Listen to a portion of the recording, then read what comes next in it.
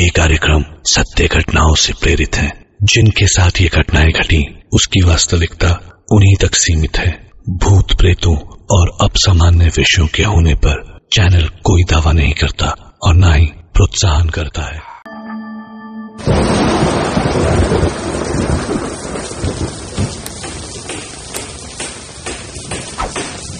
आज बेन का फ्यूनरल था। उसे दफनाने के लिए कॉफिन में कीले ठोकनी शुरू ही की गई थी कि अचानक कॉफिन के अंदर से, ज़ोर ज़ोर से उस पर हाथ पैर मारने की आवाज़ें आने लगी। सारे लोग बुरी तरह से डर गए थे। कुछ औरतें तो वहाँ बेहोश भी हो गई। और रोजलिन चीखने लगी। बहन ज़िंदा है बहन ज़िंदा है प्लीज़ कोई उसे कॉफिन से निकालो। मेरा बहन ज़िंदा ही इज़ अलाइव प्लीज़ कोई कॉफिन से निकालो।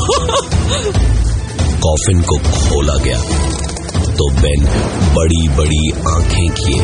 सांस लेने को बड़ा सा मुँह खोले उठ के बैठ गया।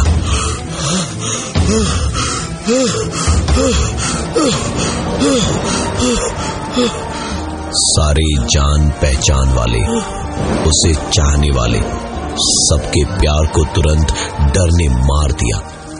उसकी बीवी रोजलिन भी चार कदम पीछे ही हटी। बेन अपना हाथ रोजलिन की ओर बढ़ाए। कुछ कहना चाह रहा था। रोजलिन एक आखिरी बार सुनना चाहती थी कि बेन क्या कहना चाहता है। लेकिन फिर बिना सांस के हाँफते हाँफते एकदम से जैसे बेन का दम एक बार फिर से घुटा और वो वापस कॉफिन में गिर गया।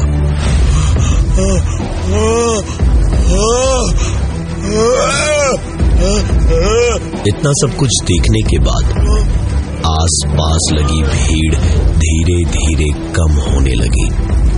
एक आदमी डरते हुए उस कॉफिन के पास गया। और बेन को दोबारा चेक किया तो पाया कि उसकी धड़कनें हमेशा हमेशा के लिए रुक चुकी थी। उसको आखिरकार दफन करके सब लोग वापस अपने घर की ओर गए। रोजलिन रास्ते भर यही सोचती रही कि बेन ज़िंदा था भी या नहीं? आगे क्या होना है, ये कोई नहीं जानता था। बेन की मौत के बाद रोजलिन को देखने वाला कोई नहीं था। एक महीने पहले ही उनकी शादी को दो साल पूरे हुए थे। और आज आज रोजलिन दुनिया में एक बार फिर अकेली थी। रोजलिन बड़े से आलिशान बंगलों में अकेली थी। नौकर काम खत्म करके चले गए थे। अकेले अपने कमरे में ही टीवी देखते देखते रोजलिन कब सो गई, उसे पता ही नहीं चला। बार बार वही बेन के फ्यूनरल का नज़ारा उसकी आँखों के सामने से गुजर जाता और अचानक उसकी नींद खुल जाती।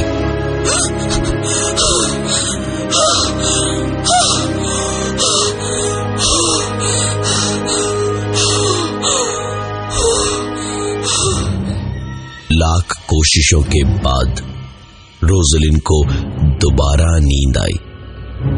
लेकिन कुछ ही देर में उसकी नींद टूटी एक आवाज़ से।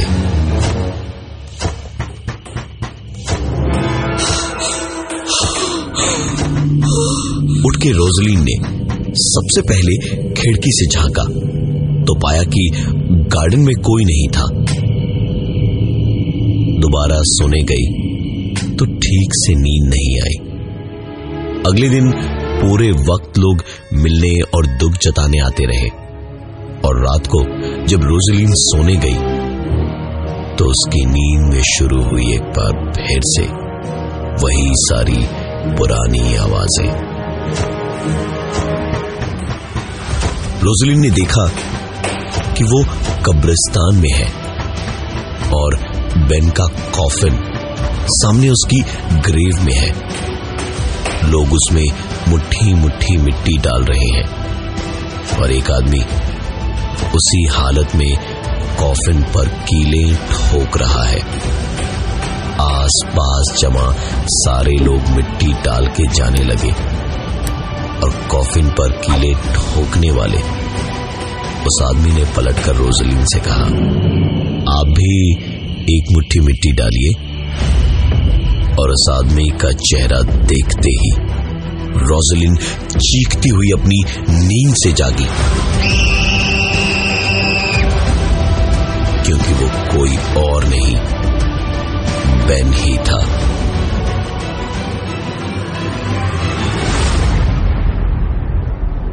ये सपना शायद एक बार देखती तो भुला भी देती रोजलिन, लेकिन अगले एक हफ़्ते तक यही एक सपना और यही आवाज़ रोजलिन को रोज रोज सुनाई देती रही।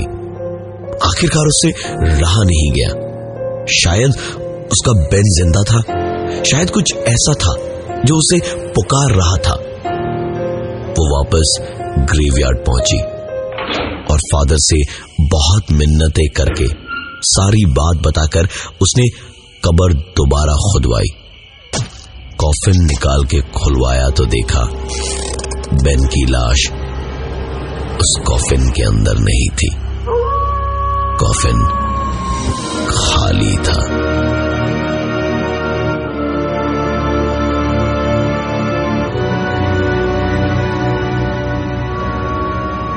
ऐसा कैसे हो सकता था? लाश कैसे कहीं जा सकती है? रोजलिन के समझ में कुछ नहीं आया।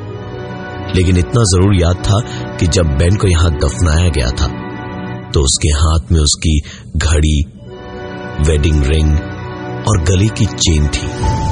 शायद उसकी लाश इन्हीं चीज़ों के लिए गायब की गई हो। रोजलिन ने तुरंत इसकी रिपोर्ट पुलिस में करवाई।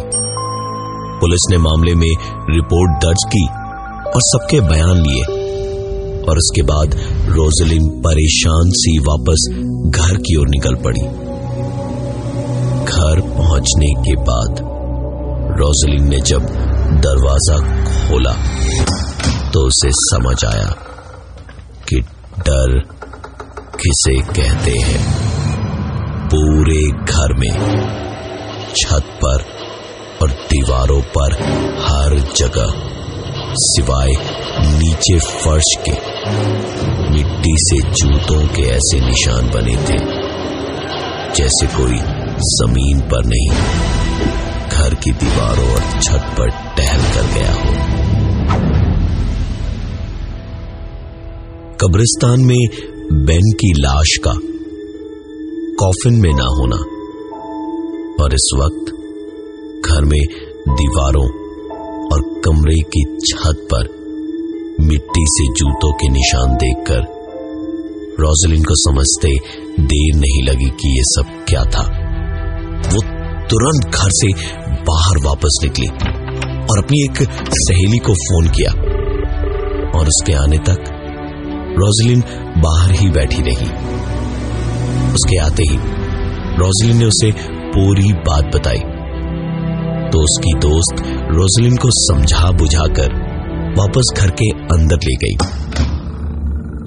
इस वक्त घर की दीवारों और कमरे की छतों पर पैरों के निशान नहीं थे, जिसे देखकर रोजलिन की आँखें बड़ी बड़ी हो चुकी थी। रोजलिन बहुत ज़्यादा डरी हुई थी और इतने दिनों से वो ठीक से सोई भी नहीं थी। रोजलिन अपने कमरे में सोने को तैयार नहीं थी।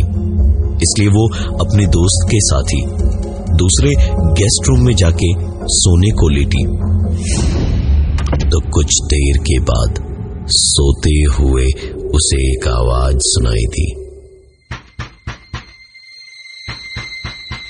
रोजलिन का पलंग बॉक्स बेड था, जिसके अंदर से कोई ज़ोर ज़ोर से नॉक कर रहा था। और एक घुटी सी चीख की आवाज़ आ रही थी।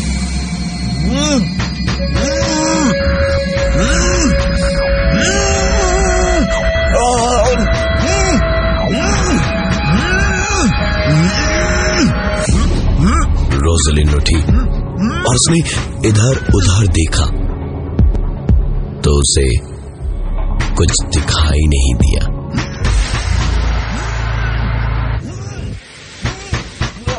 लेकिन अपने कमरे में, अपने बेड के किनारे से एक आती हुई आवाज़ उसे सुनाई दी।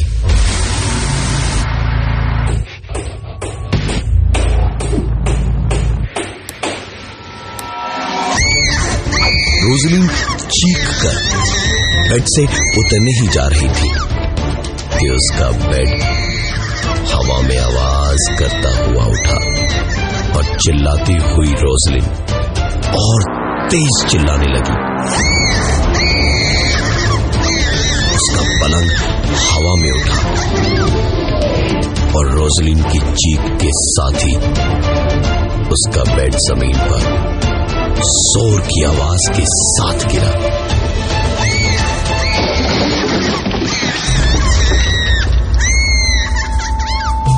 रोजलिन कमरे से बाहर चीखती हुई भागी और बाहर निकल के उसने देखा कि उसकी सहेली रॉकिंग चेयर पर बैठी थी।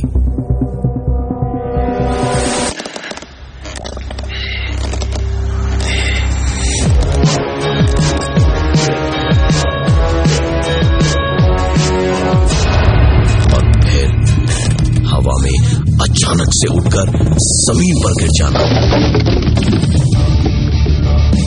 रोजलिन ने जैसे ही अपनी सहेली का हाल देखा वो तुरंत भागी बाहर और दरवाज़ा खोलकर अपने घर के मेन गेट तक पहुँची होगी। कि तभी उसके दोस्त की आवाज़ आई। अरे सॉरी रोजलिन मुझे आने में टाइम लग गया। क्या करूँ यार? टैक्सी नहीं मिल रही थी। ये इतना सब कुछ शायद रोजलिन के लिए कुछ ज़्यादा ही हो गया था। वो बेहोश होकर वहीं ज़मीन पर गिर पड़ी। जब घुटन से हल्की हल्की नींद खुली तो वो हाथ पैर चला नहीं पा रही थी। सांस लेने में घुटन बहुत ज़्यादा हो रही थी रोजलिन को। उसको बस सांस लेनी थी। लेकिन एक मुट्ठी हवा भी मिलना मुश्किल हो रहा था। रोजलिन को हाथ पैर मारते हुए समझ आया कि ये घुटन और हाथ पैर ना हिल पाना इसलिए है क्योंकि वो एक कॉफिन के अंदर बंद है। उसकी बुरी तरह खटखटाते रहने से आखिरकार कॉफिन खोला और रोजलिन हाफती हुई बुरी तरह उठकर बैठी। साँसें ठीक हुई। तो रोजलिन ने देखा उसकी वही सहेली खड़ी मुस्कुरा रही थी और रोजलिन से कह रही थी ओह माय गॉड रोजलिन तुम ज़िंदा हो! I just thought I lost you Roselyn तुरंत उठकर कॉफिन से निकली और सीधे कब्रिस्तान के बाहर भागी। कब्रिस्तान से बाहर निकलते ही रोजलिन को जैसे पता था कि उसे कहाँ जाना है। अगर इस वक्त उसे ज़िंदा रहना है और सुकून से रहना है तो वो वहाँ से सीधे अपने बॉयफ्रेंड के घर गई। लेकिन वहाँ भी पहुँच के उसे लगा, जैसे दौड़ अभी और बाकी है, क्योंकि वहाँ ताला लगा हुआ था।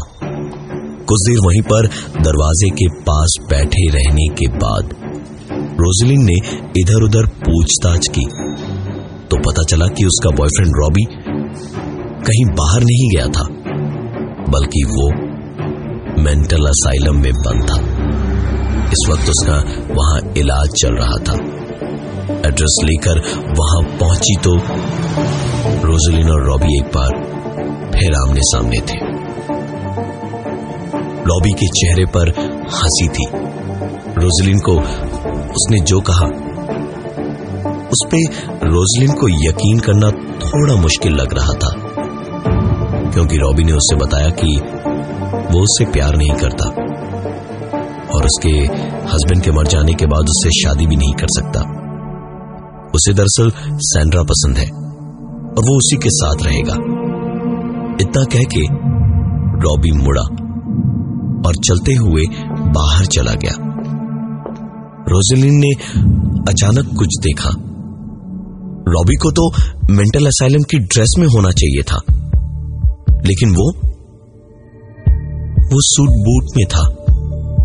रॉबी जाते जाते मुस्कुराया और दीवार पर शीशे की तरफ़ इशारा करके गया। रोजलिन ने शीशे में देखा तो पाया, असाइलम में पेशेंट रॉबी नहीं, वो खुद थी। असाइलम की ड्रेस में रॉबी नहीं। वो थी और पागल रॉबी नहीं। वो थी। रोजलिन वहाँ से भागती हुई अंदर की ओर गई। रोती बिलकती चीखती, चिल्लाती और जो एक बिस्तर उसे खाली मिला, वो उसी पर बैठ गई। सोचने लगी कि वो यहाँ कैसे पहुँची और उसके साथ ये सब क्या हो रहा है? कि ठीक तभी उसके बैठने के थोड़ी देर बाद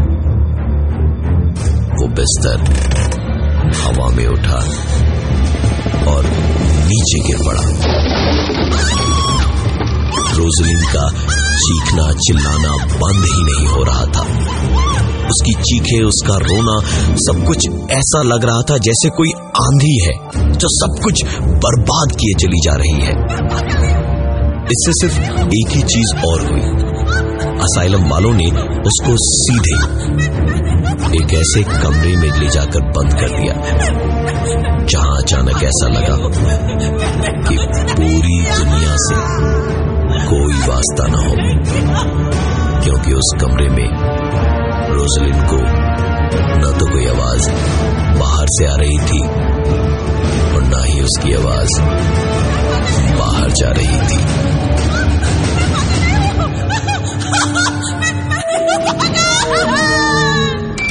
रोजलिन शायद पागल सी हो गई थी। रोजलिन की चीख पुकार सुनकर उसे मेंटल असाइलम वालों ने एक अंधेरे और छोटे से कमरे में बंद कर दिया था। जहाँ उसे बाहर की कोई आवाज़ सुनाई नहीं दे रही थी। और कमरे के अंदर एकदम अंधेरा।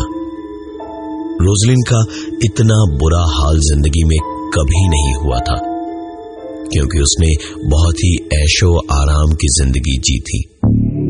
अजीब, टूटा, फूटा उबड़ खाबड़ सा फर्श था कमरे का। और लेटने का बिस्तर भी दीवार पे बना था, जैसे ट्रेन की बर्थ होती है। रोजलिन की चीखें धीरे धीरे अब बंद हो चुकी थी। अब उसे डर, परेशानी इन सबसे कहीं ज़्यादा भूख लग रही थी। कुछ ही देर के बाद उसके कमरे का दरवाज़ा खुलने की आवाज़ हुई।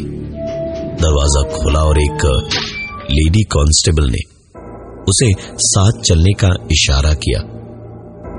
रोजलिन वहाँ से बाहर निकली तो देखा कि वो दरअसल किसी मेंटल असाइलम में नहीं।